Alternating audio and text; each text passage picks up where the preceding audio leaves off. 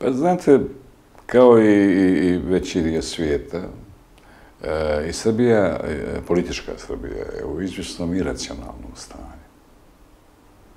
Tako da ja ne bih donosio neke e, ozbiljne zaključke sudove na osnovu e, medija, iako je jasno ovaj, da se ipak mediji u osnovi uređuju u političkim krugovima, a ne u medijskim krugovima. Tu se mnogo koristi e, zapadna propaganda. Po duše, Rusi su dosta slabi u propagandi i oni su do sada u tom... Oni su realno izgubili. Medijskom, medijskom smislu su te rat izgubili već, ali očigledno to njih ušte i ne zanima. E, I nije konstanta, nema konstante u toj medijskoj promociji antiruske politike u Srbiji. Tu su naj, ima nekoliko novina koji su konstantni u antiru, ali ne sada, od uvijek. A ovo drugo, ove, ove nove medije za koje se smatra da su baš direktno vezani samo vlast, tu postoji podjel rada. Jedni su za Rusiju, drugi su protiv Rusa. Tako, e, naravno, i ovi koji su za Rusiju, i ovi koji su protiv Rusa, uglavnom se služe lažima. To ništa nije tačno. Znate, vi imate medije objave da, da niko nije znao za tu ratnu operaciju, samo Putin i jedan čovjek. Da ste, da ste normalni, da vi tako ozbiljnu ratnu operaciju niko ne zna. Pa, da li to je uvreda za inteligenciju, da postoje za razum štavanje ljudi. Tako da, ovaj, ili ovi drugi koji pretjeruju opet da će to sve Putin i tako dalje. Ne, ne postoji uopšte realno, realan pristup. Ali ja se bojim da je to slika haotičnog stanja u političkoj eliti Srbije, koja je istovremeno e, vezana je li, za ove istočne zemlje kao što je Rusija i Kina, vezana interesima, a s druge strane e, pod velikim je pritiskom Zapada. Zapad je strašno važno e, da jedna zemlja koja se tradicionalno smatra proruskom, kao što je Srbija, uvede sankcije. To je njima važno. Nema veze što Njemačka uvela. Nemci onako ne vole Ruse, ali ovo je njima važno. A pritome, mi smo zemlja koja nije član jednog bloka. Mi smo zaista neutralna zemlja, iako je strateško opredeljenje članstva u Europskoj uniji. Ali mi nismo članovi. I da li ćemo ikad biti? Tako da je situacija vrlo, vrlo delikatna. Ja se bojim da e, ta politička elita naša polako popušta. Jer e, mi vidimo da, na primjer, kada je Srbija glasala u Generalnoj skupštini e, za rezoluciju koja osuđuje Rusiju, mi smo glasali, mogli smo da budemo ne, e, uzdržani. Međutim, mi smo glasali za. Naravno, ta rezolucija ništa mnogo ne znači. Tako. Ali gest da smo mi glasali protiv Rusije. Poslije, I to je tako bilo, objašnjeno je da je naša situacija delikatna i tako dalje. Međutim, poslije je Viktorija Nuland, pomoćnja državnog sekretara, objavila da je ona telefonirala predsjedniku Srbije i da je od njega tražila da uvede sankcije. Prije toga smo mi također podali pritisku i uh, uveli smo sankcije Belorusiji, koje su uvredljive za Srbiju. E, onda dolazi njemačka e, ovaj, ministarka e, spoljnih poslova i prva reakcija je da mi smanjujemo broj letova za Moskvu sa dva na jedan let. To je neki način početak sankcije. Poslije toga, smo mi po prvi put od 14. godine smo se pridružili sankcijama Evropske unije protiv bivšeg ukrajinskog predsjednika Viktora Janukovića. Naravno, te sankcije ništa ne znače, ali to je gest koji pokazuje određeno popuštanje Srbije, jer e, može, možda neko u Srbiji misli da je to gest dobre volje prema Zapadu, ali, ali treba nikad se ne smije zaboraviti da Zapad svaku e, dobronamjernu e, potest, dobru volju, tomači kao vašu slabost, a ne dobru volju. I to nema kraja onda. A istovremeno je krenuo taj ovaj, specijalni rat protiv Srbije, gdje je recimo te dojave, lažne dojave o bombi u avionu za Mosku.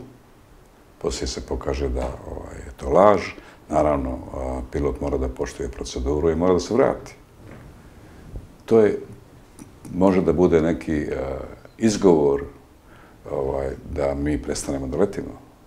A Turska leti, pa će otići Turskoj.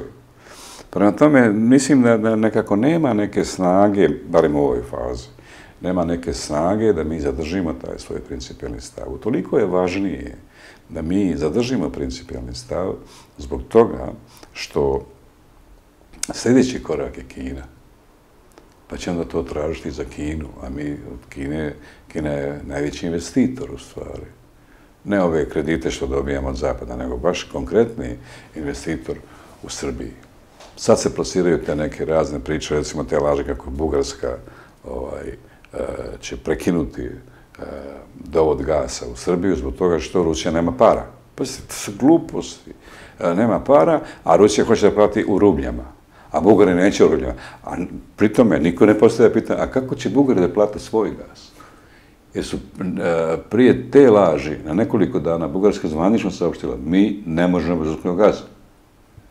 Prema tome, to su nevjerovatne ovaj, manipulacije e, u formi specijalnog rata, ali, koji, koji, koji, ali te manipulacije politička elita Srbije kupuje, što kažem, prihvata. Onda kad je isto to ovaj, neki haker kao, neki haker, neke grupa hakerska je provalila u bazu podataka Ruske banke. Koje Ruske banke? I tamo je našla 275 miliona evra Jorgovanke Tapaković. Gluposti gluposti, ali to je sve ta vrsta rata. I ko to objavljuje u Srbiji? Koji mediji, koji znamo, zna se pozadja tih medija. A niko ne kaže da to je listi, pošto to je, eh, malo prije sam rekao, ta propaganda je vrlo netalentovana.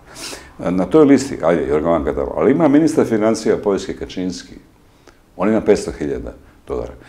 Pa znate kad bi Poljak držao pola dolara u Ruskoj banci, nema šansu. A ima bivši ministar odbrane Francuske koji... Sve je lista onih ljudi koji imaju rezerve prema politici Zapada, prema Ukrajini. Na tome to...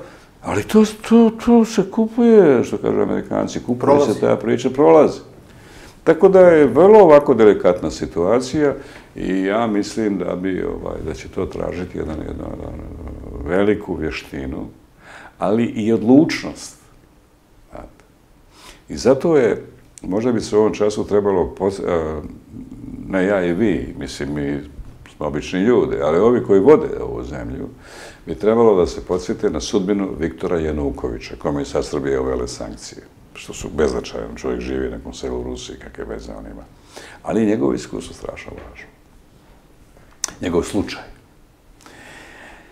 2004. godine, je bila ona vojna revolucija. I onda je doveden onaj Juščenko, koji je prozapadni. Međutim, to nekako se vuklo, nije to baš bilo tako jednostavno.